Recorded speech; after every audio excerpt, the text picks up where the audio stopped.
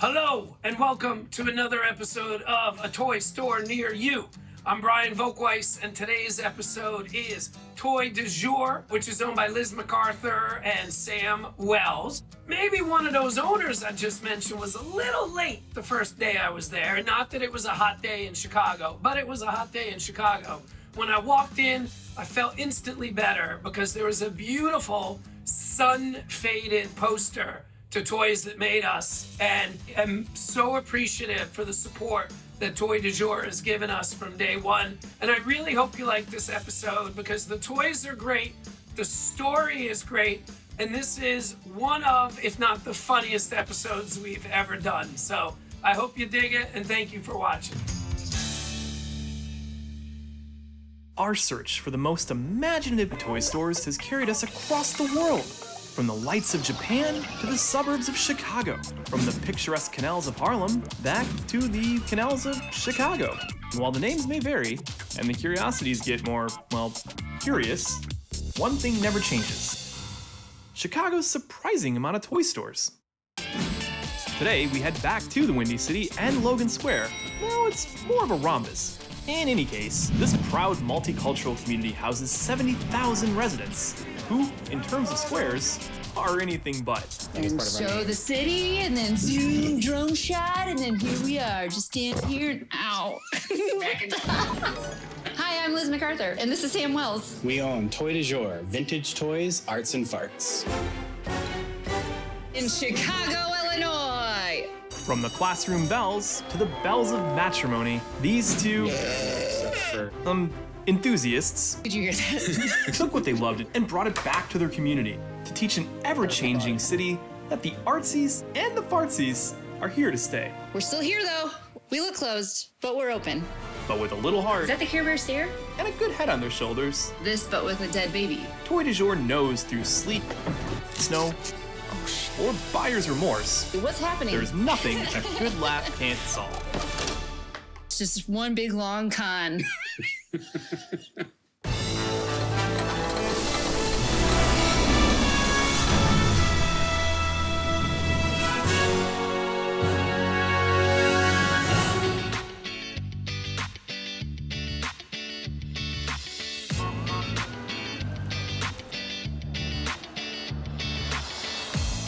been collecting toys since we were teenagers. we met in high school, Well, back in late 90s, early 90s. mid 90s, the medium, middle of the 90s. We decided to form a business in high school together. Immediately, I was like, You look like you're terrible with money, but you like the same stuff I like. So we'd go to garage sales, Antique malls. and thrift stores. We were like the only people under 20 at the antique malls. People called us the kids, The thrift, thrift the store thrift kids. Yeah. Hanging out with all the old men at the machinist hall. oh man, and we did get Beanie Baby crazy. Nothing's been hotter than those cuddly little animals with cute little names. Should we take that out? Don't worry, Sam. The 90s were a different time. A time that, thanks to a healthy mix of booming cartoons and a little thing called the internet, began a craze in collectors the world over. And when you do that, you find extra of those things, which usually leads to a lot of space in your grandma's basement. It's not hoarding though, it's collecting. Yeah.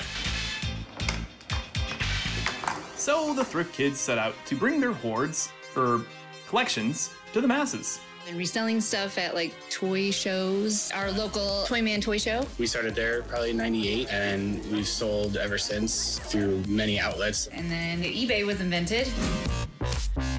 And fast forward to 2014, and we've got a storage locker with a ton of toys, apartment full of toys, crappy job. So we found a brick and mortar and opened our first location, and that's when Toy de Jour was born in Logan Square. And so it was that Toy de Jour would spread its wings and. Wait, that's not how it's spelled, is it? The story behind that is quite boring. Back in 2007, when I was looking up the URL, I was spelling it properly, but I never pulled the trigger, so the domain was gone.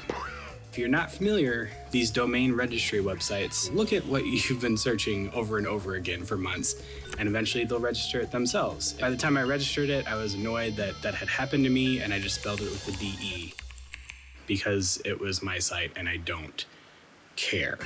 Plus, there was another toy store that spelled their name incorrectly, and they they did okay. Whew. Well, Well, that sure is one less pain in the neck. It's showtime, babe. But I'm sure you can give 10 reasons why it's worth it. Number 10, Number 10. troll dolls. Treasure trolls with a jewel you can wish on. These are stupid. They are not stupid. Probably the number one customers of trolls are the people who are like, oh, God, I didn't realize I was walking into a toy store. I don't know anything about my friend, but I saw her wear a raincoat once, so I'll get her this as a gift. Ew, yuck. That's the thing about that is that there were so many of them. We set them all up on our counter for a photo, but they kept selling off of our counter that day while we were trying to set them up. I mean, they're just fun to look at.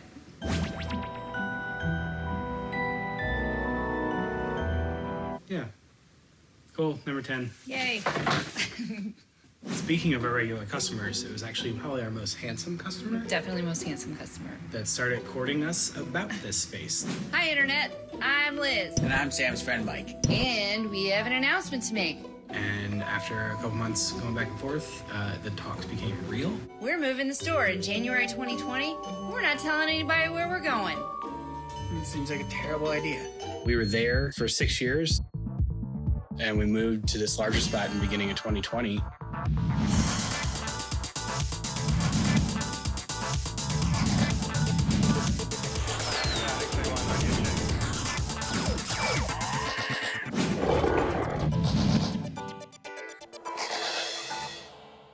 And then, and then the world ended. We went out with a bang. It's fine. Yeah. Number nine. Number nine. Lucky Egg Chicken Machines. Don't do that while you're talking. Number nine. It was my number one machine at Showbiz Pizza. There's a chicken, a fake chicken, that box and box and box and spins around, and then it poops out an egg with a fun toy in it. And you just simply open it up.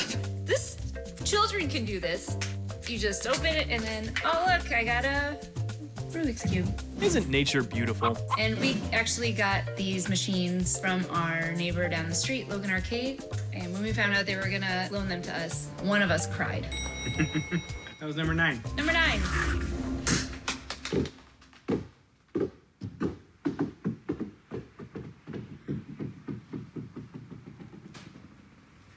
It's fine.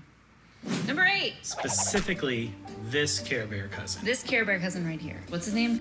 Cozy Heart Penguin. How cozy that hat is on his heart. So finding them in their box is a little bit difficult. The color of these guys, when you see them all together, is just kind of magical. I love it. Our store is like probably like 80% He-Man, Star Wars, G.I. Joe. So it's really great when we see like Care Bears or Rainbow Brite come in the shop. But they like fight evil with love Care Bears, belly light. It's you shoot it out of your belly. Is that the Care Bear stare? They stare with their eyes closed. Yeah, they stare through their soul. Mm-hmm. Oh.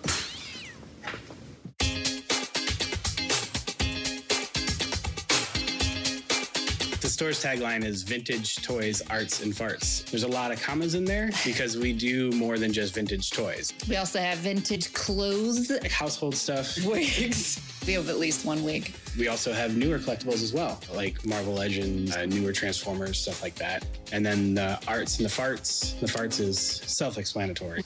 I just fart a lot. And we have fake poo. Yeah. We have cat fake poo. We got human fake poo. We got fake dog dog doo doo. That's the three basic poos. Those are the fake poos. If you want to get into the real poos we got, you're gonna have to slide in my DMs or my BMs. Did you get the BMs?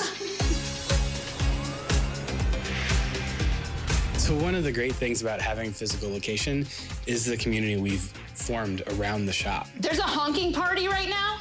Hey, I heard Toy de Jour was recording a video. Let's go to a honking party. What's happening? Chicago's a pretty great city for toy collectors in general. It, it's actually a pretty tight knit community. There's a bunch of different shops here, from Japanese import toys to designer vinyl. We all go to each other's shops. I mean, we do this because we like this stuff, so we message each other if it's like, hey, do you have a Thundercat? Because I have a customer looking for one. I'll send them your way. Loyal customers, like this one. I'm Zespi. I live and work in the Logan Square neighborhood. literally got back into toy collecting because of the temptation of having a great toy store down the block from me. It's weird that everybody thinks that it would be like a cutthroat scene, but it's it's not. It's super friendly. People send us video footage of their shop saying like, "Hey, this guy just stole from me. Make sure that he doesn't do the same to you, or look for the items that he took from me." First thing I bought from Toy de Jour was probably an impulse purchase. I couldn't wait to slowly take everything from the store and move it into my apartment. Freaked out, went blank, and just bought some random junk. That's probably what happened. Everything in there I wanted, had to have, reminded me of my childhood. 95% of what's here is stuff that people have brought to us. We're charging $15 for this game and we left the garage sale tag on here. It's pretty great knowing that the shop is not just curated by us, but it's also the people that have brought us things. Well, come buy our trash. It's $14 now. and it, it's also kind of cool to think about just the money that we've paid out because we buy locally and that money just goes back into our own community. We didn't even buy that for a dollar. It was actually free. Someone's trash. We're just selling it for $15. We're scam artists. Oh, God. My favorite part is finding something that has some vague memory attached to it. MC Hammer wraparound board game. And then you actually see it and it blows your mind. Oh, you get to pick a rap leader, and that's just exciting in and of itself. And maybe next time I'm at my parents' house and I look at the photo album, I might see that actual toy sitting there from one of my birthdays. So that's always really fun. I'll never open it. Doing that, you don't just buy the things that you like, you spot things that you know that, you know, Other people will buy. Yeah, I've also been lucky enough to work with Doomco Designs, and we've had some exclusive releases of his vinyl figures. The Tarbus figure that he's done. We've had three colorways now, and the one we just posted up that sold out within a day. It's just a itty bitty guy. We have a lot of artists that produce stuff that we carry in our shop. A Warlords of War figure, Galaxor, Battle Babies. So we have these things in our store that we call lizidermies. Um, As many shops as there are in the city, you have to have something that sets you apart. because they're taxidermies, and also my name is Liz. Hello, nice to meet you. We've done a pretty good job of that because there's a lot of stuff that we produce ourselves. They don't bleed that much. There are there are a handful of shops that are like ours where it's vintage mostly. He's dead, so he's no longer screaming. You would assume would be like, oh, that sucks to have competition, but it's kind of great. Put the baby in its mouth, like that. Just drench the baby. Ow! What else do we make? So something else that we've something else we've been uh, doing lately is started with some micro machines. So we've we've carded those on a Home Alone backing, so you can have your home security item just like Kevin McCallister. Yes. So smart. We recently did Baby Sinclair from the TV show Dinosaurs Not the mama, not the mama. on a Not the Mama card from Maury You Povich. get it? You get it. You are not. If you're old enough, you get it. You get it. You'll see it. We'll show a picture of it here, and you'll be like, "Oh my god, how are they not millionaires?" Okay. And people buy that shit. Number seven. Number seven. This particular figure is one of the best things in the shop right now because the Undertaker very hard to find. Everybody's got a price. So finding him, you know, mint on card is almost impossible. Like I'd never seen him. I mean, these these guys aren't easy to come by. This this is a kind of pricey figure. Holy guacamole. Name your favorite wrestler. Go. Mm, on three. Okay. One, two, three. Oh, Jake the Snake. Warrior. Oh. I like Jake the Snake because his girlfriend's name was the same as my name. And also, he had a sack of snakes. Number six. Number six. This is Galvatron from the Transformers Energon series.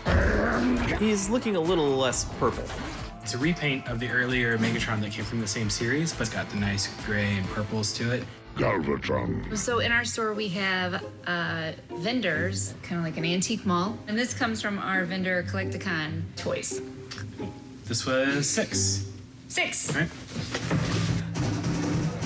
We thought we couldn't possibly fill up with people like we did before, but the opening night was rammed in here. Couldn't get through the walkway just to grab a toy from the other side. Yeah, we did monthly-ish art shows featuring lots of like pop culture themes. The last one we had in this store was Walrus Mania, which was all based around Walrus Man from Star Wars. What? We did like a ladies of the 80s, Ghostbusters. We did a Stranger Things show. Is that supposed to impress me? Ninja Turtles, where we did not have illegal tattooing going on on the back. Oh man, we did. We did not. Not. We did not. That's illegal. I wish you'd stop doing that. We actually did an official Voltron art show, which was pretty great, but our previous location was pretty small. No kidding. But with a big change of scenery came an even bigger outpouring of love from Logan Square. It was ridiculous, and I can't believe we had that many friends and followers and customers that came out to support us. We have been invited here today to share with Nikki and John a very important moment in their lives. We've actually had two weddings here since we've been open. Now they've decided to take advantage of the tax savings and officially live their lives together as husband and wife. Um, they were small weddings, but um, there has been love given and received.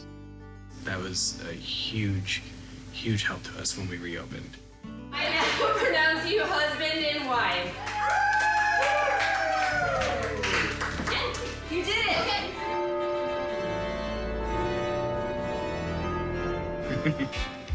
Number five. Five on our list is the Channel 6 news van from Ninja Turtles. I don't know how many kids got the news van that were super into playing with the news van. Why can't I do it now? I mean, that's probably part of it. It's not as fun as like the pizza mobile or whatever. Get out of the way, fat dude! Whoa. Yeah, like, oh, let's go look at the news. I have absolutely no idea. Number five. Go that. Number five. Five. Oh shit. Hmm. I guess this is more like the weirdo toy- toys we like to carry. This is Sweet Amanda.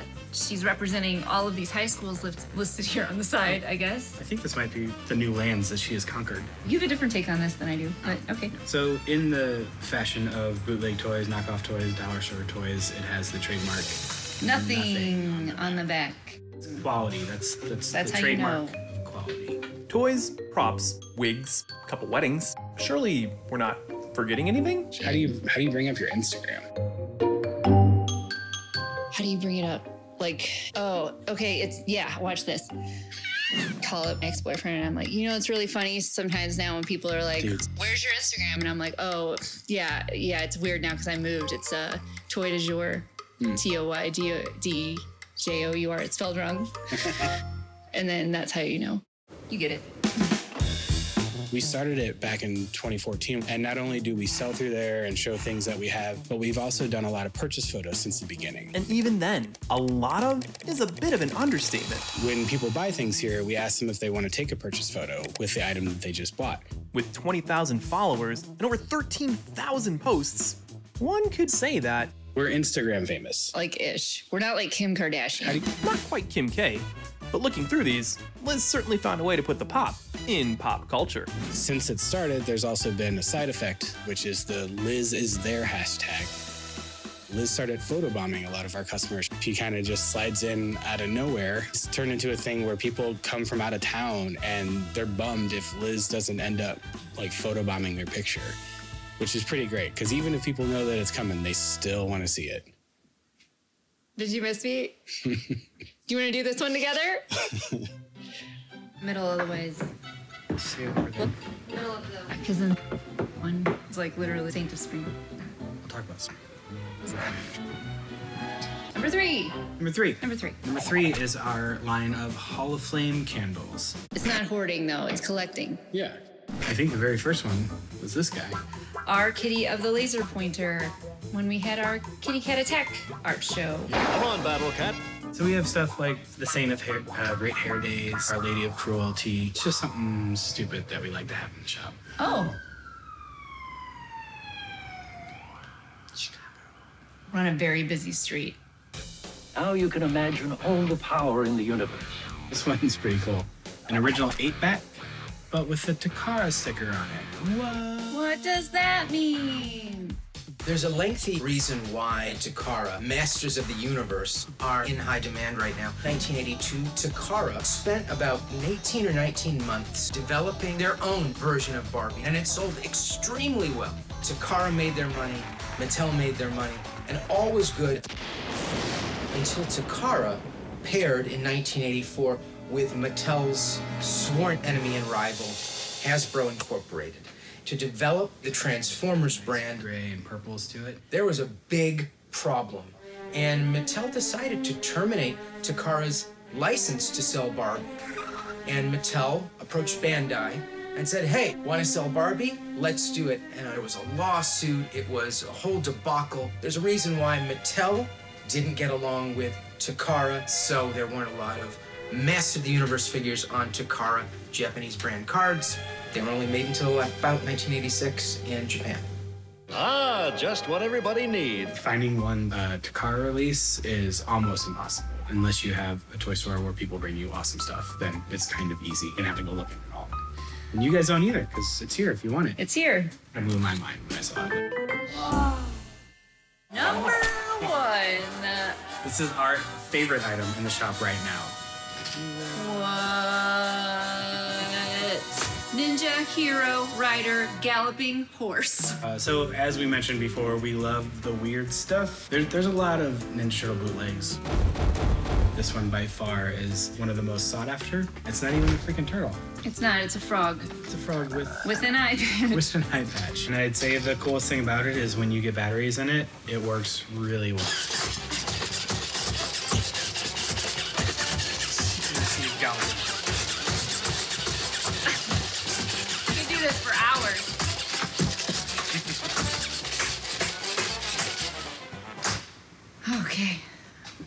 We actually did that for like an hour, but we edited it down. So that was our 10 favorite things in the shop right now. They could also be favorite things in your home if you want to buy them. I think you're gonna throw something on there. Nope. Cool. Yep.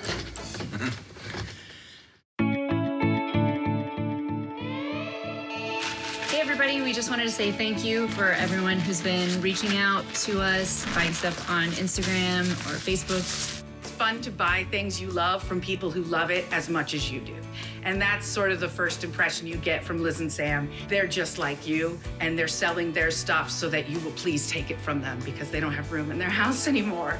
And we got to open back up in July. On Saturdays, it gets kind of busy and it's freezing here, and people will wait outside and they're really nice about it. And I don't know, everybody's been really cool while this has been going on. It's been really nice. So find us if you liked what you saw or if you'd like to see anything else. Thanks. Thanks. Bye, guys. Bye. And with that, we wrap up our time in Logan Square. If you find yourself in the area, pop into Toy de Jour, however it's spelled. Come for the community, get a nice photo bomb, but remember, of course, to stick around for the farts. Now what do we do? Wait. Just wait for uh, somebody to contact us.